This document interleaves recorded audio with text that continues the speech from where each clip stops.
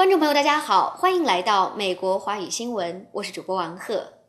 当地时间七月二十九日晚，国台办主任王毅在中国驻芝加哥总领馆举行招待会，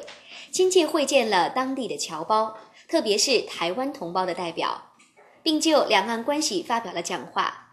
所以，首先我要代表中共中央台办、国务院台办，向大家表示谢意，向各位致以敬意，谢谢大家了。我想，对于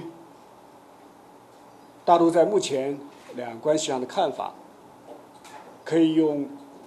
三个共同来加以概括和说明。首先，两岸关系和平发展的成果，应该由两岸同胞共同享有。王毅在招待会上的讲话中指出。两岸关系和平发展的成果应由两岸同胞共同享有，两岸关系和平发展的局面需要两岸同胞共同维护，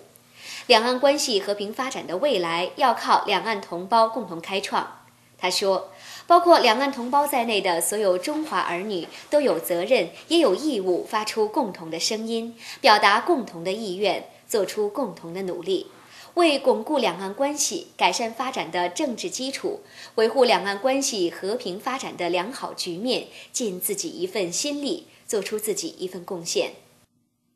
王毅的讲话在参加招待会的侨界代表中引发了强烈反响，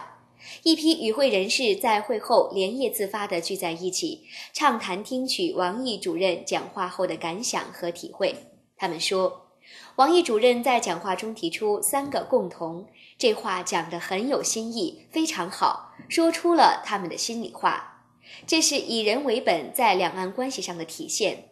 大陆在处理台海议题上，处处以两岸人民的利益为第一考量，把两岸关系的前途与中华民族的未来更紧密地结合在一起来对待，所以才能赢得两岸主流民意的广泛认同。来自台湾的侨胞代表郑克宏、徐逢远说：“王毅指出，两岸关系的跌宕起伏，越来越与每位同胞的切身利益息息相关，越来越直接影响到广大民众的安居乐业。更重要的是，人民群众才是决定两岸关系前途的最主要力量。”出席招待会的侨领胡小军、吴浩、侨胞代表王坚、胡大江等表示。听了王毅主任的讲话，他们更加深切感到自己肩负的历史责任的重大。好了，感谢您收看今天的美国华语新闻，我是王贺，在芝加哥向您问候，祝您健康快乐，再见。